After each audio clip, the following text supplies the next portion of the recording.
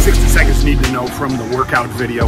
NVIDIA, they beat top and bottom line, but they say seasonality with their gaming chips is why you got to be a little careful here. Stock's up a buck anyway. I think it goes higher.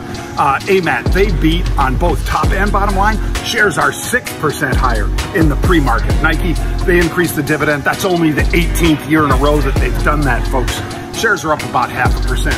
Take a look at JD. They beat top line and bottom line. Shares are up 5% in the pre over there at uh, JD.